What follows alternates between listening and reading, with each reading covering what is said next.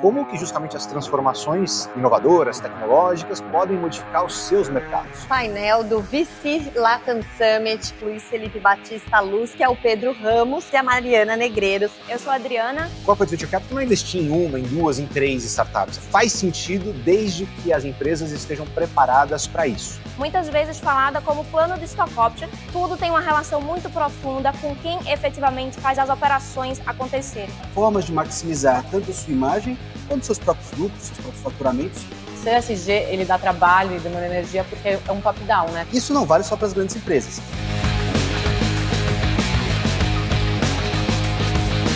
E o mercado ele ainda está se adaptando. Tem que ter paciência e resiliência. Saber que os corporate venture capital têm um ciclo longo é outra coisa importantíssima.